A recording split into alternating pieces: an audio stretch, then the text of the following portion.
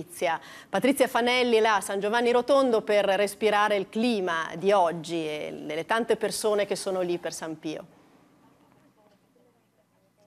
Eh, buonasera Cristina, buonasera a tutti. Sì, siamo sul sagrato della chiesa, della nuova bellissima chiesa dedicata a San Pio. Qui ieri sera 11.000 persone, come abbiamo visto, hanno atteso l'ora in cui 48 anni fa morì San Pio da Petralcina. Vicino a me c'è padre Luciano Lotti, che è stato battezzato da San Pio e ci spieghi perché proprio qui in questo punto tante persone ogni anno da 48 anni si ritrovano. Siamo in un punto di quelli tra i più suggestivi perché qui dove voi vedete questa bellissima costruzione, una volta c'era solo un, un prato e nello scosceso una casa colonica, ma qui la gente si raccoglieva per dare l'ultimo saluto a Padre Pio se ogni sera, perché di fronte c'era la finestrella a cui Padre Pio si affacciava e salutava la gente con un fazzoletto. Qui la sera del 22 settembre le persone hanno dato l'ultimo saluto a Padre Pio prima della sua morte. Fra Luciano,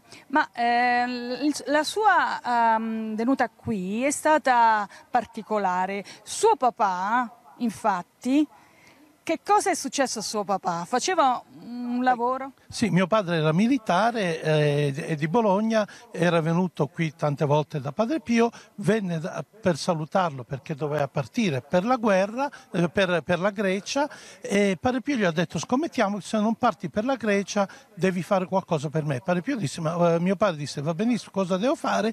E Padre Pio ha chiesto, senti, se non parti per la Grecia devi fare il medico, qui tu vedi solo montagna ma fra un po' ci sarà un grande ospedale, ho bisogno di medici e di fatti poi mio padre è stato 40 anni primario qui di pediatria nell'ospedale di Casa Solievo della Sofferenza. E allora uno delle, dei frutti Patrizia, proprio di Padre scusami, Pio ti fermo, ritorniamo tra pochissimo con i